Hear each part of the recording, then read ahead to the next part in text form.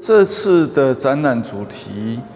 我用朴素高贵，希望让大家看见从一开始到他今天的创作历程中，一直有着各种美彩。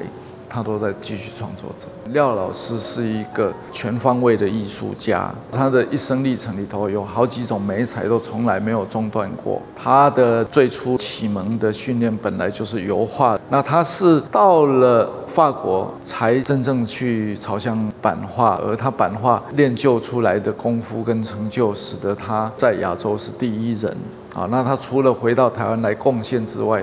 他也在亚洲几个重要的国家都。影响了他们的版画的创作的潮流。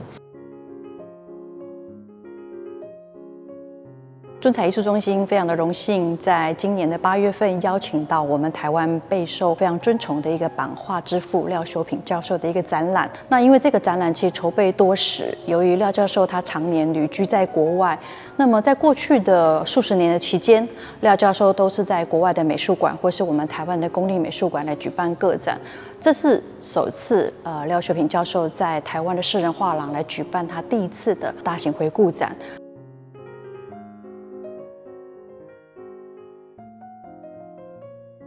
这次除了在尊彩艺术中心来举行这个个展以外，同时，呃，由于尊彩在香港有一个分公司，就是艺思画廊，也同时在八月份同时展开了廖秀平的一个个展。呃，我们在台湾以及香港两地都能够同时欣赏到廖秀平的一个艺术。从小在那里长大，所以我离开台湾之后，以台湾的寺庙做题材，因为我出国的时候。六零年代，从战后五零年代，它是全部全世界都是在抽象。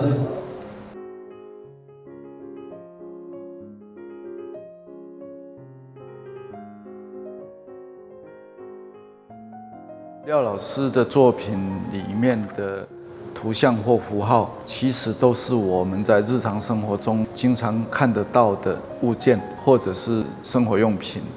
啊，所以他们并不是非常昂贵或者非常奢华的物质。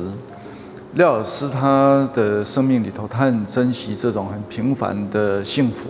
那他把它转化到他作品中，他使用的这些颜色啊，比如说红、黑、金黄或者黄啊，其实这些都是很容易呈现高贵的这个颜色啊。平凡的图像，高贵的形式。我想用这个东西来让大家，除了看见廖老师作品的这两重意义之外，其实也比较希望大家去看到他生命跟心灵里面特有的这些态度。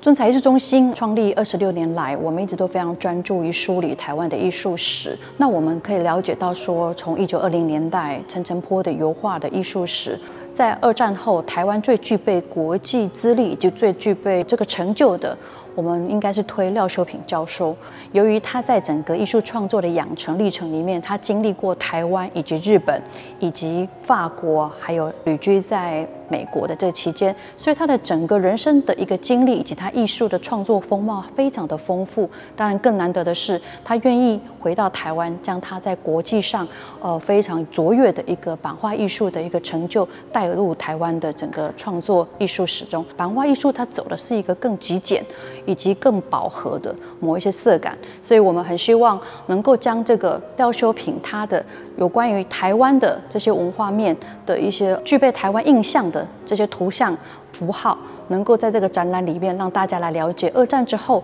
我们台湾非常具备国际这种特质，以及能够用非常台湾的一些很深度的文化的一个艺术呈现，来让大家能够来了解我们台湾这一位非常具备国际成就的一个大师的展览。